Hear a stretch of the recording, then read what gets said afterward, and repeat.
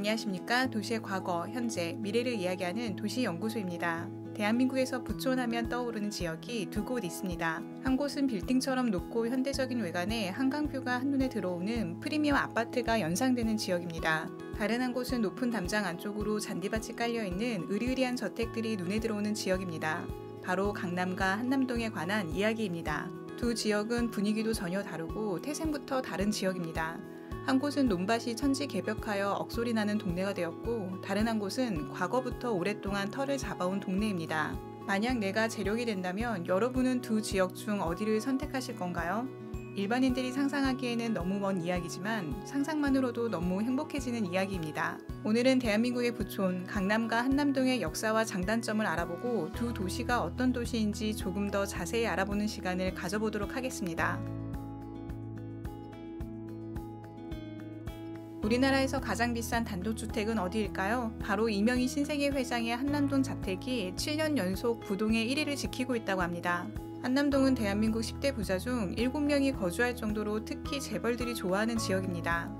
한남동의 재벌들이 등장한 시기는 6, 70년대 한국 경제가 급성장한 시기였습니다. 한국전쟁 이후 미군 부대와 국방부가 용산에 들어서면서 권력의 핵심 인물들이 한남동에 거주하게 되었고 원만한 관계 형성을 위해 재벌들도 자연스럽게 한남동에 거주하게 되었습니다. 동시에 용산에 미군이 주둔하고 각국의 외교관들도 이곳에 자리 잡게 됩니다. 일제 강점기에 일본인 장교들이 숙소로 사용하였던 건물들은 해방 이후 각국의 외교관들이 집단적으로 거주하게 됩니다.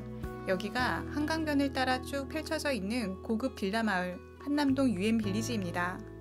한남동은 집회 및 시위에 관한 법에 의해 외국 공간 반경 100m 이내에는 집회나 시위가 불가능하게 되어 있습니다. 이 법으로 재벌들은 프라이버시를 보장받을 수 있고 조용한 주거지를 가질 수 있습니다. 한남동은 1969년 지금의 한남대교인 제3 한강교가 개통되면서 강남 접근성이 매우 좋아졌으며 70년에는 남산 2호 터널이 개통되어 대기업 본사가 밀집해 있는 종로, 중구의 접근성도 매우 좋아졌습니다.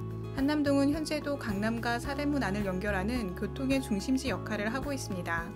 한남동은 풍수적으로 뒤로는 남산이 있고 앞으로는 한강이 위치해 있어 전형적인 배산임수 지역입니다. 한강과 중랑천이 만나는 옥수동과 성수동 일대에서 풍수적으로 가장 좋다는 금성수가 형성되는데 이 금성수가 한남동을 감싸고 있어 재물의 기운이 넘치는 지역입니다. 또한 한남동은 기가 순한 지역으로 자식이 잘 되고 대를 이어 살기 좋은 명당이라고 합니다. 이런 한남동에도 단점은 있습니다. 불과 100년 전만 해도 이곳이 공동묘지였다는 사실입니다. 조선시대에 사형을 당해 장례를 치를 수 없는 시신이나 돈이 없어 빈궁한 백성들은 사대문 밖 이곳 한남동 지역에 묻혀졌다고 전해집니다. 오랫동안 공동묘지로 사용되었던 이 지역은 1930년대 택지 조성 사업을 통해 일본인을 위한 집을 짓고 일본군을 위한 시설을 만들기 시작합니다. 그렇게 들어선 적산가옥들은 광복 이후 일본인이 철수하면서 한국인이 매매하였고 건평 100평 이상의 호화주택이 많아 돈이 많은 사람들이 차지하게 되었습니다. 이번에는 대한민국 사람이면 누구나 부촌하면 가장 먼저 떠올리는 강남으로 가보겠습니다. 강남은 대한민국 상위 10% 부자의 비율이 가장 높고 아파트 가격은 대한민국에서 가장 비싼 지역으로 부촌의 대명사로 통하는 곳입니다. 1953년 약 100만이었던 서울 인구는 1960년 245만 명으로 약 2배 이상 인구가 폭증하였습니다. 주택수는 인구수의 절반도 되지 않았고 대부분은 판잣집이었습니다. 정부는 기존의 도시 경계를 한강 이남으로 넓히고 대규모 공공주택을 지어 인구를 분산할 계획을 세웁니다. 여의도 한강변 개발을 시작으로 한강 이남 서쪽 지역과 동쪽 지역을 개발합니다. 한강 이남 동쪽 지역인 강남 일대가 확정되면서 아파트가 우후죽순으로 들어서기 시작하였습니다. 강남은 80년대에 접어들면서 부촌으로 급성장합니다. 자고 나면 집값이 오르던 시기가 바로 이때입니다. 특정 동네만 부촌이 아니라 강남 전체가 부촌으로 변해갑니다.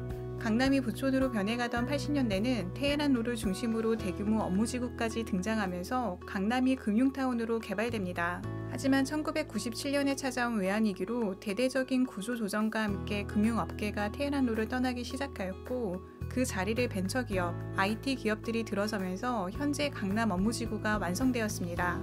대규모 업무지구가 형성되면서 상권도 크게 활성화됩니다. 강남역에서 노년역까지 이어지는 중심 상권은 음식점, 카페 등 대규모 상업시설들이 들어섰고 하루 유동인구 100만 명이 넘는 상권이 되었습니다.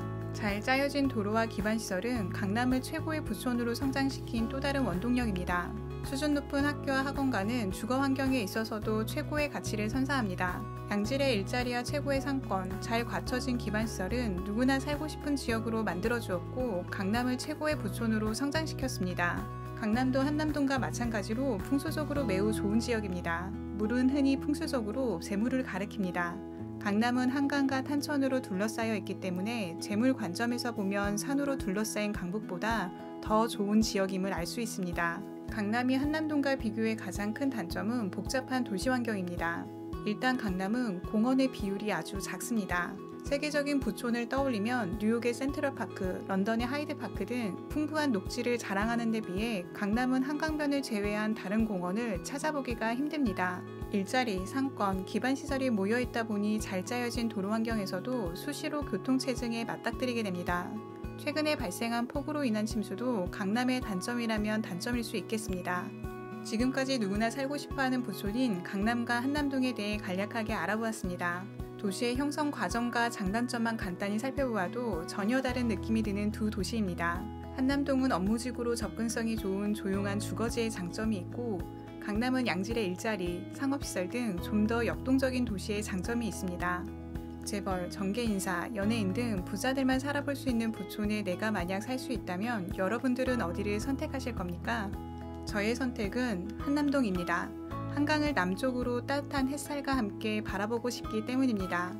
여러분의 선택도 궁금합니다. 영상을 보시고 댓글에 선택과 이유를 남겨주세요. 이상 도시의 과거, 현재, 미래를 이야기하는 도시연구소였습니다. 시청해주셔서 감사합니다. 만족하셨다면 좋아요와 구독 부탁드립니다. 다음 도시에서 다시 인사드리겠습니다.